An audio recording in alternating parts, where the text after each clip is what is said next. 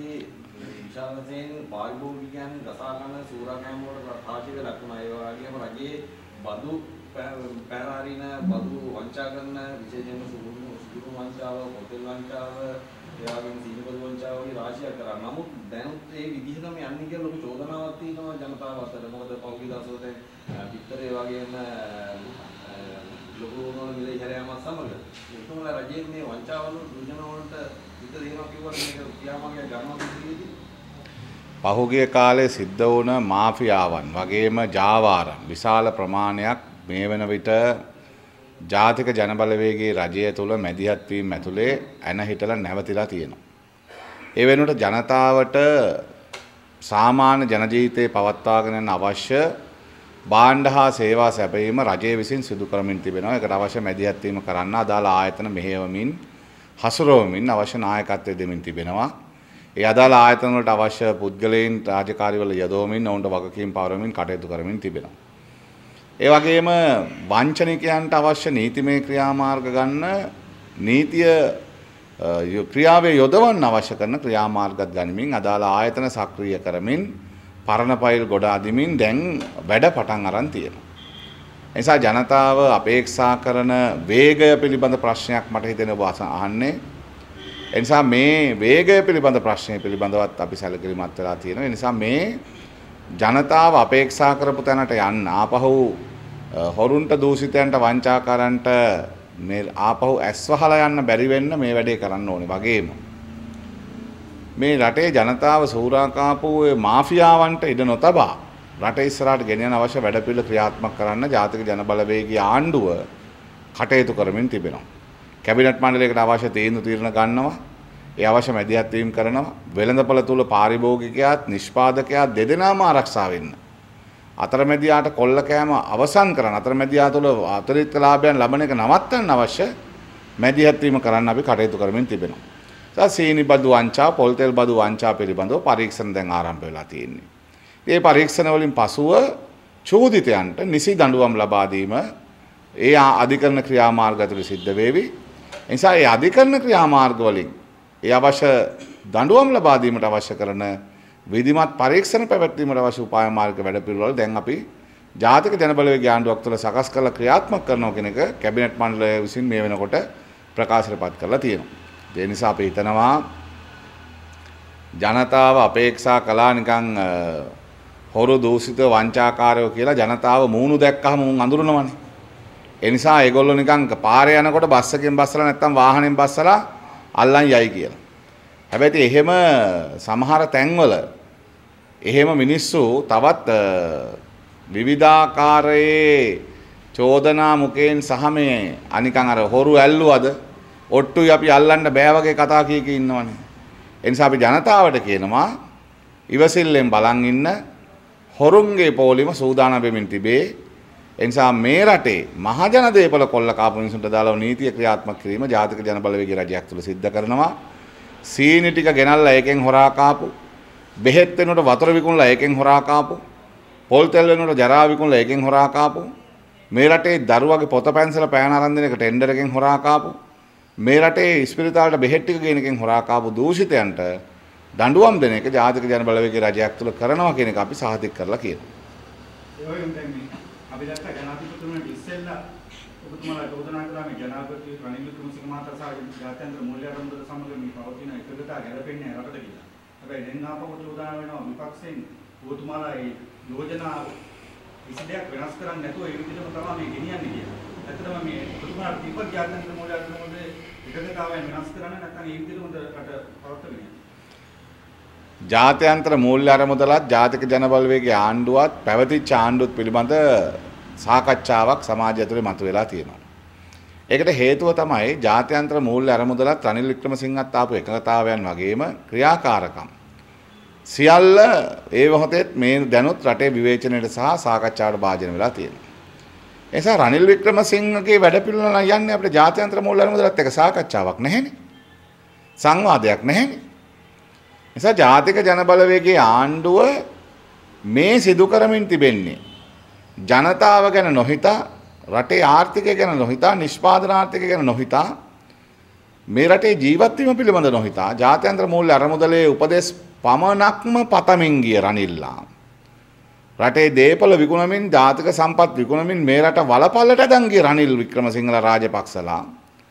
තවදුරටත් මේ රට ගොඩ එන්න බැරි රටක් බවට හිර කරපු මිනිස්සු ඒ හිර කරපු තැනින් මේ රට ගොඩගෙනමන සඳහා වෙච්ච වැඩපිළිවෙලක් කොහොමද අපි ක්‍රියාත්මක කරන්න කියන කාරණේ අපි දැන් කතා කරමින් යනවා. ඒකෙදි ජාත්‍යන්තර මූල්‍ය අරමුදලට දැන් අපි කැමති වුණත් අකමැති වුණත් ගිහිල්ලා තියෙන කියලා අපි ඡන්දෙට කලිනුත් කිව්වා. එතකොට දැන් අපි ජාත්‍යන්තර මූල්‍ය අරමුදලත් එක්ක කටයුතු කරනවා. ඒ කටයුතු කරද්දී අපිට ඒගොල්ලන්ට අපි නිශ්චිතව කියලා තියෙනවා අපේ බදු මුදල් පිළිබඳව.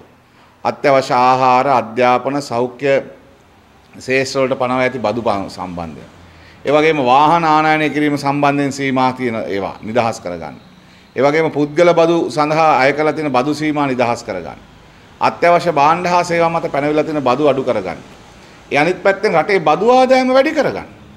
ජාවාරම්කාරයන්ට ජාවාරම් කරලා සල්ලි හොයපු එක වෙනුවට සුරාබදු සුරාබදු බලපත්‍ර ලබා දෙනකොට රටට ලැබෙන්න ඕන ආදායම් වෙනුවට ජාවාරම්කාරෝ සොට් එකක් සල්ලි ටික බෙදාගෙන තිබුණා.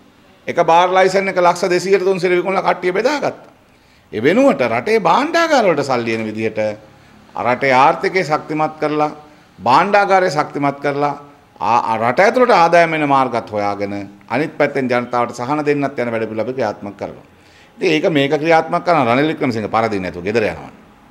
හැබැයි රනිල්ලා කරපු වැඩේ නෙමෙයි අපි කරන්නේ කියලා ජනතාව දැන් දන්න නිසා තමයි රොද බැඳගෙන රනිල්ලට ඡන්ද දීපු මිනිස්සු ජාතික ජන බලවේගයට ඡන්ද දෙන්න එළඹෙන නොවැම්බර් 14 වෙනිදා ජාතික ජන බලවේගයේ ශක්තිමත් ආණ්ඩුවක් පාර්ලිමේන්තුව තුළ ගොඩනගන්න දැන් කටයුතු කරමින් තියෙනවා.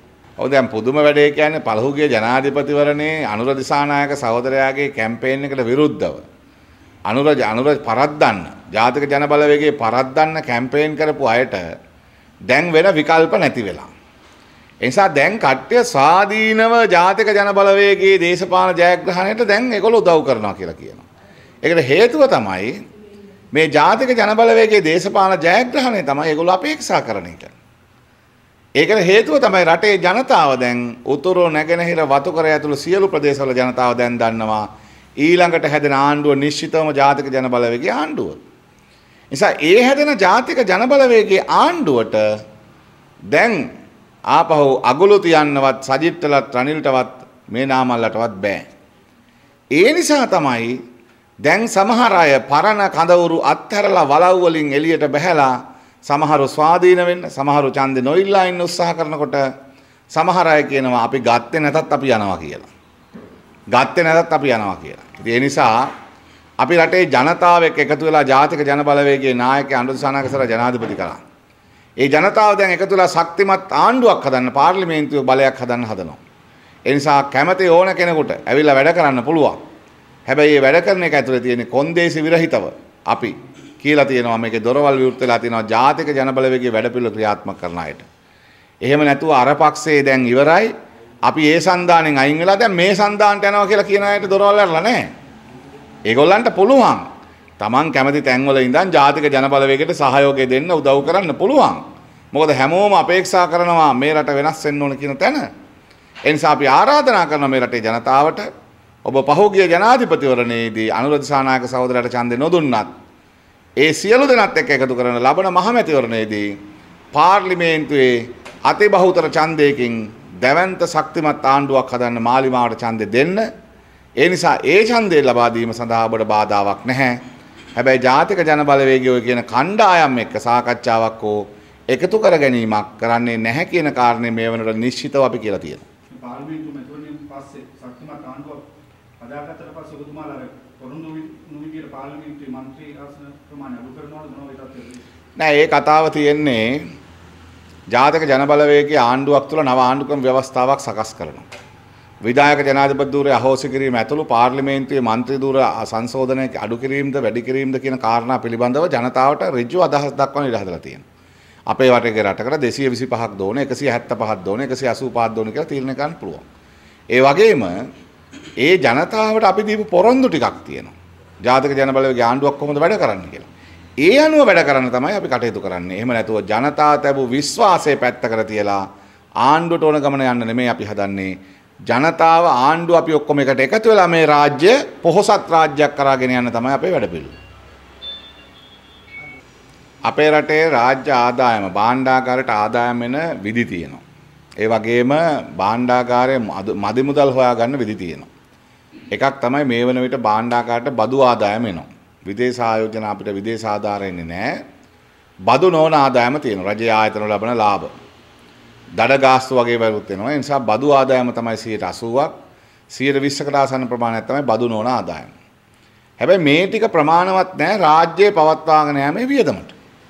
ඒ නිසා අපි මේ වල විට රටක් හැටියට අතිවිශාල ණයක් අරන් තියෙනවා. ඒ ණය සතිපතා කල්පිරෙන ණයක් තියෙනවා. උදාහරණයක් ගත්තොත් භාණ්ඩාගාර බිල්පත් සහ බැඳුම් කර. නිසා මෙන්න මේ භාණ්ඩාගාර බිල්පත් සහ බැඳුම් කර සතිපතා කල්පිරෙන භාණ්ඩාගාර බිල්පත් සහ බැඳුම් කර තියෙන සාමාන්‍ය සතියකට බිලියන 140ක් විතර 40 50ක් කල්පිරෙනවා. ගිය සතියේ අවසාන දාපු බැඳුම් කරය බිලියන 143.5ක්. හැබැයි මේ මේ මේකේ අපි බලන්න ඕනේ වෙනද ආණ්ඩුවට ණය දෙන්නත් අකමැති වෙච්ච අය මේ වෙන විට භාණ්ඩාගාර බැඳුම් කර සඳහා ඉල්ලුම් කරලා තියෙන බිලියන 338ක් ණය දෙන්න සූදානම් කියලා. ඒකෙම හරි පැහැදිලි රජය යෝජනා කරලා තිබුණ බිලියන 142.5යි රජය යෝජනා කරලා තිබිච්ච ගාන විතරයි අරන් තියෙන්නේ දෙන්නම් කිව්වට 338ක් කරන්නේ නැහැ. සා රජයේ වියදම් පියවා ගැනීම සඳහා රෙගියුලර්ලි ඒ මේ මේ පොදු ක්‍රියාවලියක් යනවා. මොකද වාර්ෂිකව කල්පිරෙන මාස 6න් කල්පිරෙන මාස 3න් කල්පිරෙන භාණ්ඩාගාර බිල්පත් තියෙනවා. ඒ භාණ්ඩාගාර බිල්පත් වලට මුදල් පියවීම සඳහා සතිපතා අපිට භාණ්ඩාගාර බිල්පත් සහ බැඳුම් කර නිකුත් කරමින් මුදල් අය කර එකතු කරගන්න සිද්ධ වෙලා තියෙනවා. ඒ නිසා මේ මේ සිදුවන ක්‍රියාවලිය සිදුවෙන්නේ අන්න එහෙම එකක්. එහෙම නැතුව රටේ මුදල් නැති නිසා සල්ලි අච්චු ගහන්න වුණා හරි නැත්නම් භාණ්ඩාගාර බිල්පත් නිකුත් කරලා අලුතෙන් ණය ගත්තා නෙමෙයි.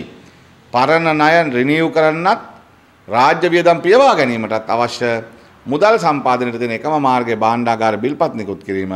ඒ නිකුත් කිරීමක් අපි පහුගිය දවස්වල කරලා තිනවා ජාතික ජනබලගේ ආණ්ඩුව.